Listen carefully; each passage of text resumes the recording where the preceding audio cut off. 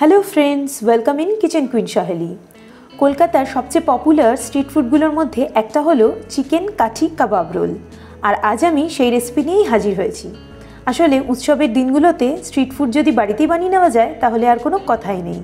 তাহলে চলুন শুরু করি। তবে শুরু করার আগে বন্ধুরা, আমার চ্যানেলটি সাবস্ক্রাইব করে বেল আইকনটি প্রেস করে পাশে অল বাটনও ক্লিক করে দেবেন, যাতে আমার চ্যানেলের সব রেসিপি সবার আগে আপনার কাছে পৌঁছে যায়। প্রথমেই কাবাব বানানোর জন্যে আমি দুশো গ্রাম বোনলেস চিকেনকে কাবাবের শেপে চৌকো চৌকো করে কেটে নিয়েছি। এবার তাতে দিয়ে দিচ্ছি আন্দাজ মতন লবণ, হাফ চা চামচ জিরে গুঁড়ো, এক চা চামচ কাশ্মীরি লাল লঙ্কার গুঁড়ো, হাফ চা চামচ ধনে গুঁড়ো, হাফ চা চামচ তন্দুরি মশলা, এক চিমটি দিয়ে দিচ্ছি হলুদের গুঁড়ো, এক চিমটি দিয়ে দেবো গরম মশলার গুঁড়ো। সঙ্গে দিচ্ছি এক চা চামচ আদা, রসুন আর কাঁচা লঙ্কা বাটা, এক টেবিল চামচ ছাকা টক দই আর এক টেবিল চামচের মতন দিয়ে দিচ্ছি কাঁচা সর্ষের তেল। এবার এই সব কিছু ভালো করে চিকেনের সাথে মিক্স করে নিচ্ছি। তো এই দেখুন, আমি মিশিয়ে নিয়েছি। এখন এটাকে ঢাকা দিয়ে রুম টেম্পারেচারে এক ঘণ্টা মতো ম্যারিনেট হতে দেব। তো সেই ফাঁকে রোল বানানোর জন্য ময়দার ডোটা রেডি করে নিচ্ছি। এখানে আমি দেড় কাপের সমান ময়দা নিয়ে নিয়েছি। স্বাদ মতো দিয়ে দিচ্ছি লবণ এবং চিনি। আর এক চিমটি দিয়ে দিচ্ছি জোয়ান। তো জোয়ানটা কিন্তু একেবারেই অপশনাল সঙ্গে দিয়ে দিলাম দেড় টেবিল চামচের মতন রিফাইন্ড অয়েল এখন ময়দাতে এই ময়মটা খুব ভালো করে ঘষে ঘষে মিশিয়ে নেব। তো এই দেখুন, ময়দাটা খুব সহজেই ডেলা পাকিয়ে যাচ্ছে এবং ভেঙেও যাচ্ছে। তার মানে ময়দাতে ময়ম দেওয়া হয়ে গেছে। এখন আমি উষ্ণ গরম জল দিয়ে ময়দাটাকে একটা নরম ডো বানিয়ে নেব। তো নর্মাল পরোটার জন্য যেরকম ময়দা মাখা হয় সেই রকমই হবে ময়দাটা। এই দেখুন, আমি মেখে নিয়েছি। তো আমার টোটাল হাফ কাপ মতন জল লাগল ময়দাটা মেখে নিতে। এখন আমি আরও কয়েক ফোঁটা তেল এই ময়দার গায়ে ভালো করে মাখিয়ে নিচ্ছি, যাতে ময়দার গায়ে কোনোভাবে কোনো সর না পড়ে যায়। তারপর এটাকে ঢেকে পনেরো থেকে কুড়ি মিনিটের জন্য রেস্ট হতে দেব। এদিকে এক ঘণ্টা বাদে আমি ফিরে এলাম। চিকেনগুলো খুব সুন্দর ম্যারিনেট হয়ে গেছে। এবার আমি চিকেনগুলোকে শিকে গেঁথে নিচ্ছি। তো এখানে আমি লোহার শিক ইউজ করছি। আর এই শিকে চিকেনগুলো গেঁথে নেওয়ার আগে আমি কিন্তু একটু অয়েল গ্রিস করে নিয়েছিলাম। তো এই দেখুন, আমি এইভাবে মাঝখান বরাবর চিকেনগুলো গেঁথে নিচ্ছি। এই জায়গায় আপনারা চাইলে কাঠের যে স্টিক কিনতে পাওয়া যায় ইউজ অ্যান্ড থ্রো সেই স্টিকগুলোও ইউজ করতে পারেন। তবে সেক্ষেত্রে কাঠের স্টিকগুলো অবশ্যই ব্যবহার করার এক ঘণ্টা আগে জলে ভিজিয়ে রাখতে হবে। তো এই দেখুন, আমার শিকে ভরা হয়ে গেছে। তো একইভাবে আমি আরও একটা শিকে চিকেনগুলো গেঁথে রেডি করে নিচ্ছি। এই দেখুন, দুটো শিক রেডি হয়ে গেছে। এখন চলে যাচ্ছি কুক করবার প্রসেসে আপনারা চাইলে চিকেনগুলো ওভেন বা মাইক্রোওভেনেও কুক করে নিতে পারেন। তবে আমি আজকে সকলের সুবিধের জন্যে নর্মাল তাওয়াতেই কুক করে দেখাচ্ছি। তো আমি একটা তাওয়া নিয়ে নিয়েছি, আর তাওয়াটা গরম হওয়ার পর আমি একটু রিফাইন্ড অয়েল গ্রিস করে নিচ্ছি। এবার তাওয়াটা খুব ভালো মতন গরম হয়ে গেলে কাবাবের স্টিক দুটো এর ওপরে রেখে দিচ্ছি। তো এক্ষেত্রে ঢাকা দিয়ে রান্না করলে কিন্তু চলবে না, সেক্ষেত্রে কিন্তু চিকেন থেকে জল বেরিয়ে যাবে। তো এই অবস্থায় ঢাকনা ছাড়া মিডিয়াম হিটে কুক করে নিতে হবে। মাঝে মাঝে আমি একটুখানি মেল্টেড বাটার ওপর দিয়ে ব্রাশ করে দিচ্ছি।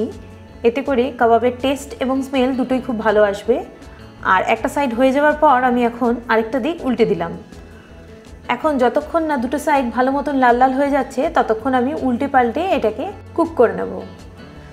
তো মোটামুটি এটা হতে কুড়ি থেকে পঁচিশ মিনিট মতন সময় লাগবে। তো এই দেখুন, ঠিক এই রকম লাল থাকাকালীন আমি এটাকে এখন তুলে নেব। এটাকে আর কুক করলে কিন্তু ওভার কুক হয়ে যাবে। আর বলাই বাহুল্য, এটা কিন্তু রোল ছাড়া শুধুই গ্রিন চাটনি আর লেবু দিয়ে সার্ভ করলে চমৎকার লাগবে। এবার একটা ফ্রাইং প্যানে এক টেবিল চামচ রিফাইন্ড অয়েল গরম করে তাতে দিয়ে দিচ্ছি স্লাইস করে রাখা পেঁয়াজ আর ক্যাপসিকাম। সঙ্গে দিয়ে দিচ্ছি তৈরি করে রাখা চিকেন কাবাব। এখন এটাকে মিডিয়াম টু হাই ফ্লেমে মিনিট দুয়েক টস করে নেব। পেঁয়াজ আর ক্যাপসিকামটা খানিকটা নরম হয়ে আসলে এতে আমি দিয়ে দিচ্ছি হাফ চা চামচের মতন চাট মশলা। স্বাদ মতন দিয়ে দিচ্ছি বিট লবণ, আর সঙ্গে দিয়ে দেবো একটু গোলমরিচের গুঁড়ো। এবার আরও এক দুবার হাই ফ্লেমে নেড়ে চেড়ে নিলেই কিন্তু আজকের কাঠি কাবাব রোলের মেইন স্টাফিং রেডি তো এই দেখুন, আমার বাড়িতে তো দুই এক পিস এখনই উঠে যাবে। আর এদিকে কুড়ি মিনিট বাদে ময়দার ডোটা একদম রেডি হয়ে গেছে। আমি আরও এক দু মিনিট একটু ভালো করে মেখে নিচ্ছি, আর এখন এটাকে দুটো সমান ভাগে ভাগ করে নেব। তো এই পরিমাণ ময়দা দিয়ে আমার দুটো স্ট্যান্ডার্ড সাইজে রোল হবে। তো আমি প্রয়োজন অনুযায়ী একটু সাদা তেল মাখিয়ে নিলাম। এখন এটাকে দুটো ভাগে ভাগ করে নিচ্ছি। তো এই দেখুন কাথি কাবাব রোলের স্পেশালিটি হচ্ছে এই রোলটা কিন্তু খুব ক্রিস্পি আর ফ্লেকি ধরনের হয়। তো সেই জন্যে আমাদের এটাকে লাচ্চা পরোটার মতন একটা ভাজ দিয়ে নিতে হবে। তো প্রথমে আমি একটা লেচি নিয়ে আগে বেলে নিচ্ছি। তো নর্মাল যেরকম গোল পরোটা বেলে, সেরকমভাবেই বেলে নেব। আর তারপর এর ওপরে একটু রিফাইন্ড অয়েল গ্রিস করে নিচ্ছি। আর ওপর দিয়ে একটু ময়দা ছিটিয়ে দিচ্ছি।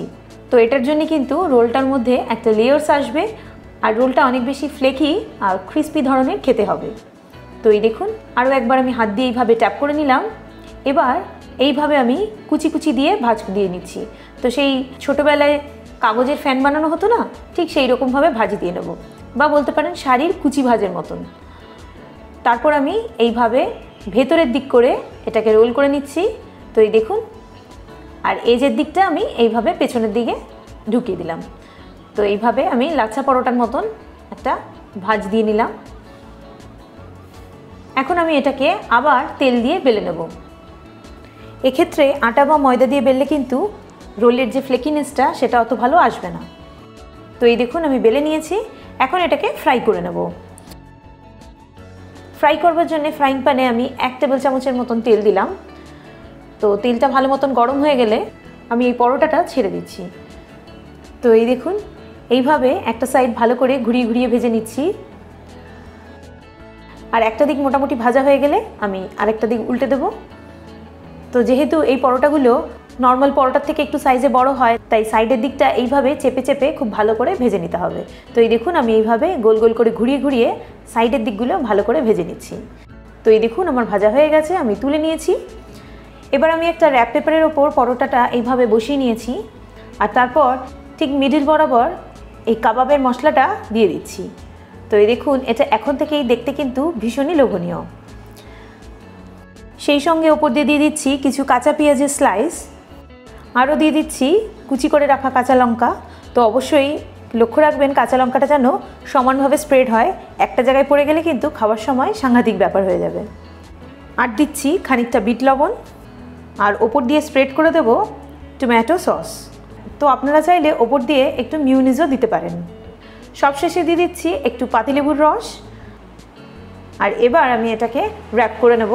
তো এই দেখুন, রোল করবার সময় নিশ্চয়ই বুঝতে পারছেন পরোটার লেয়ারগুলো কতটা প্রমিনেন্ট আর ফ্লেকি হয়েছে। এবার প্রথমে পরোটাটাকে আগে রোল করে নেব আর তারপর ওপর দিয়ে এই কাগজের ব্যাপারটাকেও জড়িয়ে নেব। আর নিচের দিকটা অবশ্যই সিকিওর করে দিতে হবে।